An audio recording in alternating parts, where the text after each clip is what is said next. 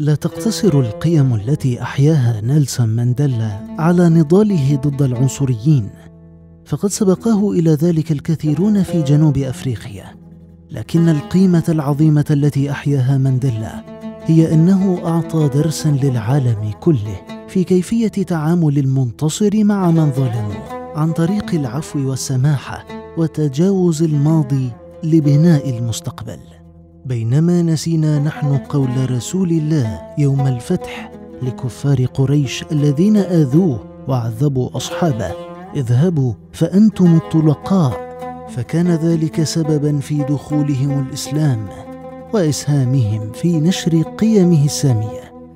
مانديلا جدد مفهوم عالمية الإنسانية في عصرنا فلم يقتصر على التفاعل مع قضية شعبه.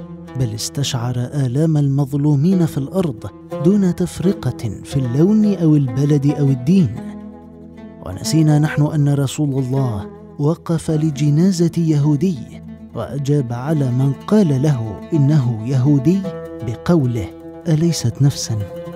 مانديلا حارب العنصرية باعتبارها رذيلة ولم يجعل حربه مقتصرة على عنصرية البيض. بل رفض أن يقابل السود هذه الرذيلة بعنصرية تجاه البيض ونسينا نحن أن رسول الله رفض أن نجعل من ظلم الآخرين لنا مبررا للاعتداء على أبناء عرقهم أو دينهم.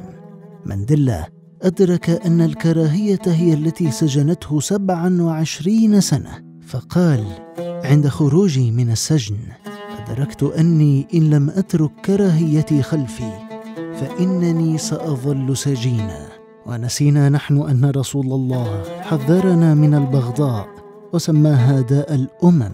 فقال دب إليكم داء الأمم قبلكم الحسد والبغضاء. والبغضاء هي الحالقة حالقة الدين لا حالقة الشعر. لأجل هذه القيم وأمثالها احترم العالم مندلا وتأثروا به حيا وميتا.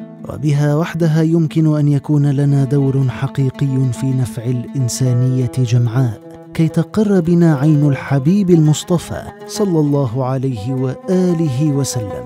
اللهم اهدنا إلى مكارم الأخلاق وردنا إلى هدي حبيبك المصطفى مردا جميلا.